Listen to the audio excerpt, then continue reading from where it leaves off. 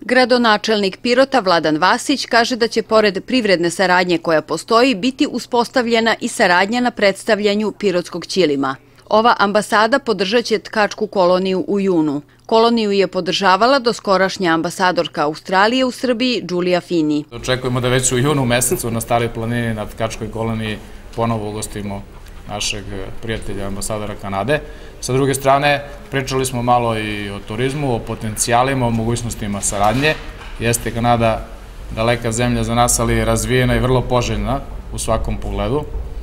E, ono što je za nas interesantno, ja moram da priznam da ja nisam znao, juče sam malo razgovarao sa ljudima iz Tigrade i Tigar Tiresa, da li mi imamo saradnju sa Kanadom, imamo negde 650.000 guma godišnje se izvozi u Kanadu, a Tigar AD ima saradnju sa jednom kompanijom koja se bavi e,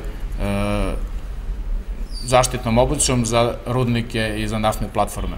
Ambasadorka Čabe kaže da je važno očuvanje tradicije i nasledđa, ali i rodne ravnopravnosti. Kao je gospodin gradonačelnik rekao, e, ja sam, ja sam se slažila da, da ću i ja pomoći i raditi to što mogu da, da promovišem e, ovu koloniju. Mislim da je vrlo važno to što ove, ove dame radi da bi, da bi ako mogu reći, spasili uh, uh, srpsku um, nasledku uh, u, u, sa, sa, sa ovim čilimama.